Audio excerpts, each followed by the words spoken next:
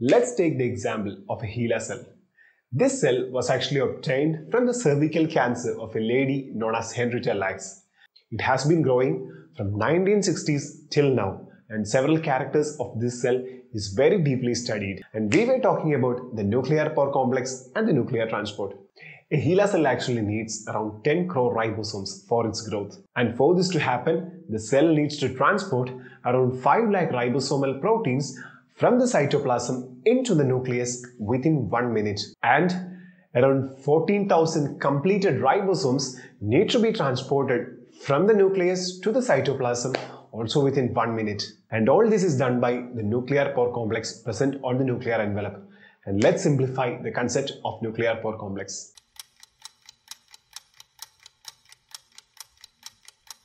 The nucleus is having a double membrane envelope and the proteins which are produced inside the cytoplasm needs to be transported into the nucleus for several functions like ribosome production as well as the ribosomes and the mRNAs which are produced inside the nucleus needs to be taken out into the cytoplasm for several other functions. So as you might have guessed, the nuclear transport is very important and this transport is done by the nuclear pore complex. Nuclear pore complex is having an octagonal structure and it is having a size which is around 30 times larger than a single ribosome and it is composed of a protein which is known as nucleoporin. The NPC has a central canal which is actually made of certain domains known as the central scaffolds and there are three ring-like structures which supports the central canal and these are the cytoplasmic ring, the transmembrane ring and the nuclear ring.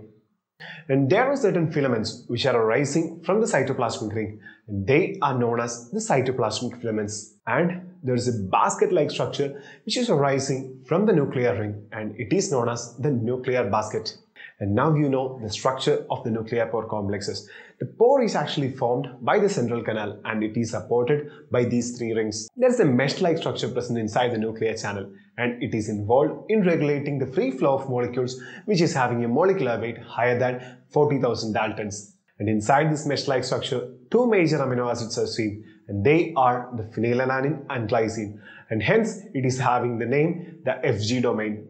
And due to the presence of these amino acids, the protein actually gets an unordered mesh-like structure which actually helps in preventing the entry of large molecules. A specific signal is needed for the entry as well as exit in the case of nuclear transport.